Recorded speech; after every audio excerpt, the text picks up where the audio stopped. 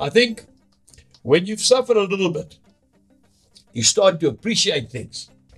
And so when we came here, we hired a caravan. I want to tell you that caravan was half the size of my bedroom. And in that caravan, I had to put myself, my wife, my three little children, and remember, my wife was six months pregnant.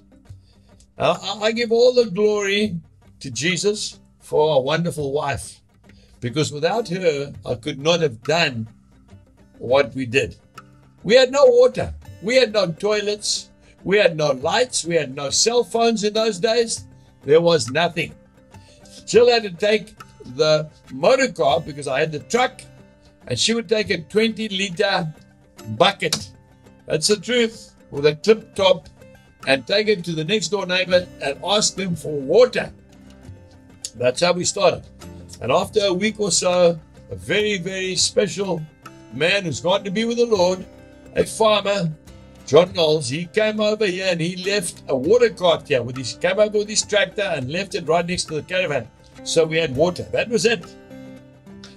Then I saw a depression just down the bottom of the of the field. We had no dams here, there was no water.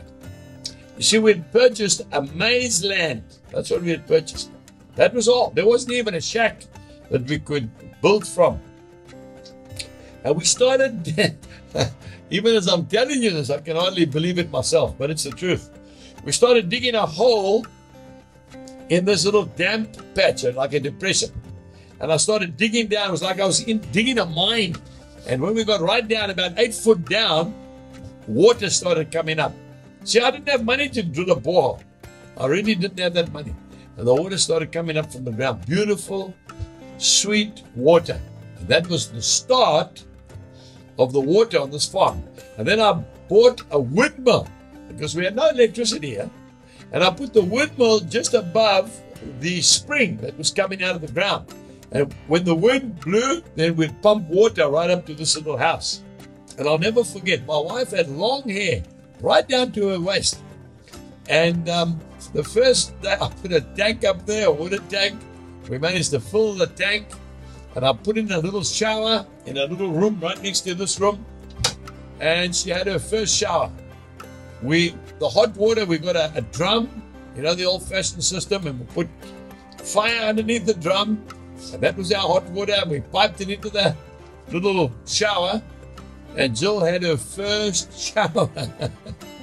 And folks, I'm telling you, she stood in that shower, I think, for about half an hour. She just really appreciated it. I need to say at this point that, you know, I think when you've suffered a little bit, you start to appreciate things. Many of us walk into the shower, you just turn the tap on, walk. You don't even think about it, do you? But how many people have got to go carry water from the river, make a fire to heat the water up, to be able to wash their children, or to wash dishes, or to cook food? We really need to appreciate what we've got. You know, Paul says, in Romans chapter 5, verses 3 and 4, he says, I rejoice in my tribulation, my hardship, because tribulation worketh patience, patience character, and character hope. I've never met a man yet who is worth his salt, who has not been through fire. Every single one of the heroes of this Bible went through fire. Do you know that not one disciple died a natural death? Each and every one of them died a martyr's death, including John, at the end of his life. Now, when you've been without water for a while, and then all of a sudden you can turn a tap on and water comes out of a, a rose, a shower, then you really appreciate it.